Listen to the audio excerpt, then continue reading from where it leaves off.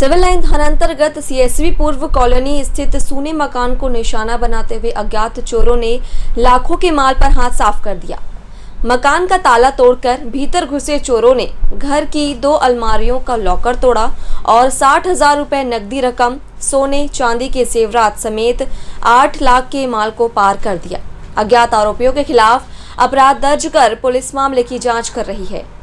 छत्तीसगढ़ के कोरबा ज़िले में सिविल लाइन थाना अंतर्गत सीएसबी कॉलोनी में चोरी की एक घटना सामने आई है, जहाँ अज्ञात चोरों ने एन एनई 130 नंबर के मकान का ताला तोड़कर करीब 8 लाख के माल पर हाथ साफ़ कर दिया। चोरों ने घर पर मौजूद दो अलमारियों का ताला तोड़ा और साठ हज़ार रूपए नकदी रकम 20 तोला वजनी चांदी का हार, करीब चार लाख रुपए कीमत सोने के जेवरात की चोरी कर ली। मकान में कल्पना सुब्रमण्यम निवास करती थीं, जो विद्युत गृह स्कूल में शिक्षक के पद पर पदस्थ हैं और अपनी बीमार बेटी से मिलने नागपुर गई हुई हैं। काम वाली बाई सुबह घर पहुँची तब चोरी की जानकारी मिली। सुबह सुबह बाई आई थी तो बड़ी बुआ को कॉल करी बुआ आप आए थे ताला लगाना भूल गया था करके।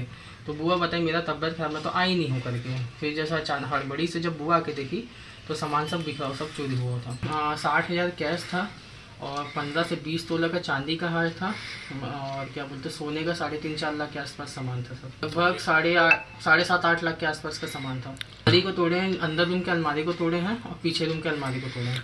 सूचना मिलने के बाद मौके पर पहुँची पुलिस ने जाँच पड़ताल शुरू कर दी है। जाँच के दौरान कुछ अहम सुराग पुलिस के हाथ लगे हैं। अज्ञात चोरों के खिलाफ अपराध कायम कर पुलिस आरोपियों की तलाश में जुट गई है। कोरबा से मनोज यादव की रिपोर्ट।